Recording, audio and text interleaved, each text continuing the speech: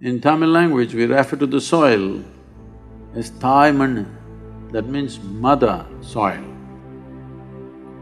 Genetic material in your system, it will get weaker if the soil gets weak.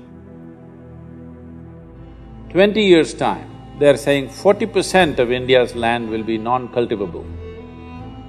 So protecting the soil and water for the future generations of this land is the most important thing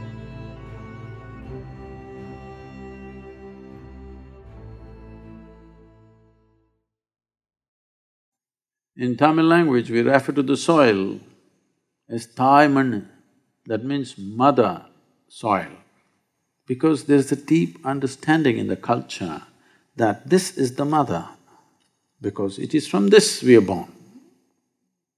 Our biological mother is only representative, the real mother is here.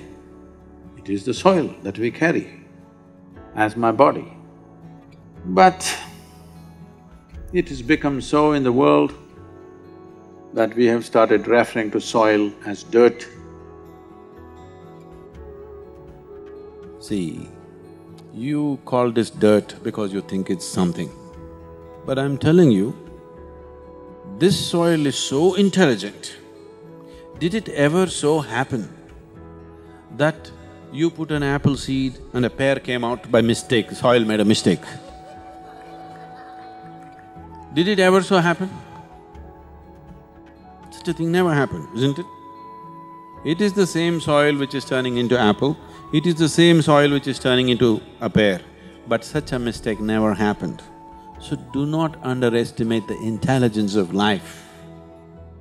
Do not think the madness that's going on in your bone box is the only intelligence, that's the lowest form of intelligence. Everything else in the existence is super intelligent, isn't it so? Life is intelligence, isn't it so? The very air that you breathe, there is a phenomenal amount of intelligence in it. These days, the modern mothers, if children go and put their hands in the soil and come, they say, your hands are dirty. No, they're not dirty. You are touching the source of your life. When you mistake the source of your life for dirt, the chances of you putting your roots down and the chances of you growing to your full size and capability, the chances of you seeing flower and fruit are remote, isn't it? If the tree thought that my roots are getting dirty, there would be neither flower nor fruit. The tree understands, when it sinks its roots into the earth, it knows this is the source of its life. But we, the most intelligent species on the planet, are not able to feel this. This is a source of many, many, many problems that human beings are experiencing right now. Forget about enlightenment, forget about seeing other dimensions of life. They're not even able to be healthy, which every creature is able to do quite effortlessly, because they cannot sink their roots into this earth because somewhere in their mind, it's become dirt.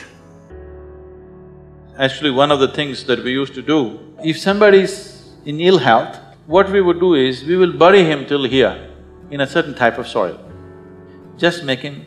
keep him there for a few hours every day. You will see the whole system will reorganize itself so beautifully and they will come out of their ailments.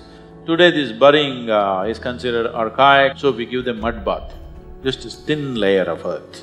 But if you just stay into the earth, this is the reason why all the yogis, mystics, anywhere, always went into mountain caves because they want to be in the cocoon of the earth. They want to feel the planet because without that, your own system doesn't function at its full capacity because your body is not any different from the planet itself, it's just a piece which has popped up, isn't it?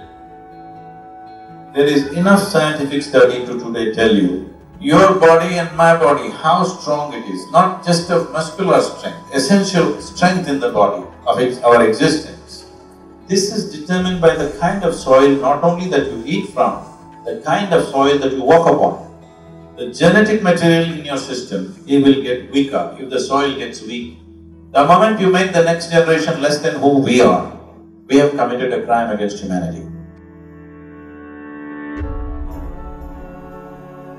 The nutrients in the soil, the organic content in the soil is going down dramatically because there is no way to put it back. The only way you could improve the organic content in the soil is the leaves of the trees and the animal waste. Trees, we have taken them out long time ago, now we are slaughtering all the animals and exporting it to other nations. With this, there is nothing to put back into the soil. It is estimated in the next five years, twenty-five percent of India's land will be in the process of desertification, that is nothing can be cultivated, it's not cultivable. In the next twenty years' time, they are saying forty percent of India's land will be non-cultivable. In the next forty years' time, they are saying sixty percent of India's land will be non-cultivable. At this rate, with 1.25 billion population our, on our hands, we must think, what will be our… the state of this country when we can't give the needed water for people and the necessary food that we grow.